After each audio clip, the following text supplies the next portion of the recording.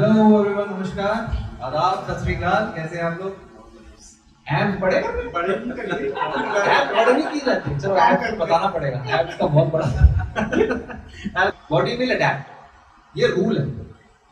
पत्थर पे खींची लकीर एक हफ़्ते में एक दिन एक्सरसाइज से बॉडी बन सकती है फैट लॉस नहीं प्रोटीन कितना लेना है?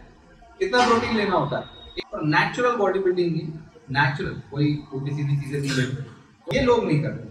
लोग एक फिक्स डाइट फॉलो करते हैं, है ना? मैं तो एक ही रोटी खाता हूँ, मैं तो दो ही रोटी खाता हूँ, मैं तो एक ही ब्रेड लेता हूँ, मैं तो कुछ खाता ही नहीं। नहीं, ऐसा नहीं है, ऐसा नहीं है। एक एनर्जी वाला भी कॉन्सेप्ट थोड़ा वज़न दस किलो कम कर लिया, उसके बाद फिर मुश्किल हो जाता है कम होना। वही चीज़ कम नहीं होती, फिर हमें लगता है, अब क्या हो गया? हम प्लेटो पे आ गए। प्लेटो पे नहीं आ गए, वो रेशियो चेंज हो गया। आपकी बॉडी बनती किससे है? बॉडी की ग्रोथ स्पीड कितनी है? अल्टीमेटली मसल ग्रो करने वाले कई लोग होते हैं, है ना? तो मसल ग्रोथ का स्पीड क्या है? Whatever you do best exercise best diet body को कितना प्रोटीन चाहिए कार्ब्स कितना चाहिए, ताकि फैट लॉस ऐसी कुछ टाइप की एक्सरसाइजेज हैं जो 80 90 परसेंट तक फैट्स यूज़ करते हैं। There will be a stage when you will reach to 1.5 gram ऐसी स्टेज आएगी जब आप 2 ग्राम पर केजी पे आओगे you need to know the ratio of carbs and protein आपने अपना सब लोग सारे दिन का खाना इस टेबल पर रख दिया।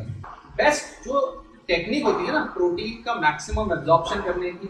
वो हज़ार करंसेज आपके एप्स को थका ज़रूर देंगे, लेकिन आपके एब्स के ऊपर का फैट नहीं हटाएँगे।